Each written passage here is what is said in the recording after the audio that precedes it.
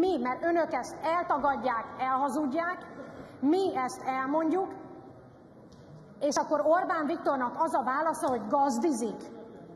Ilyen végtelenül közönséges és a magyar embereket megalázó hozzászólás még nem hangzott itt el. Szégyelje magát Orbán Viktor, és hogy meri azt mondani, a miniszterelnök, hogy mi szurkolunk a vírusnak, meg a halálozásnak.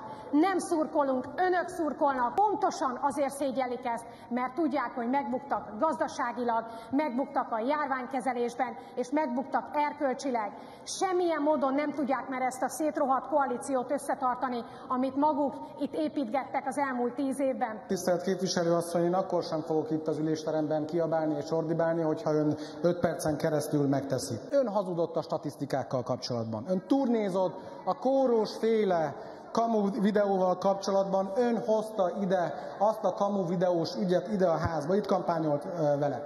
Sajnálta a határon túli magyaroktól a védőfelszereléseket. Ön mind végig igen a vírusnak szurkolt. Tehát semmi, zéró, nulla alapja van arra, hogy bárkit morális kérdésekben számon kérjen. Ennél felelősségteljesebb politikát kívánok önöknek.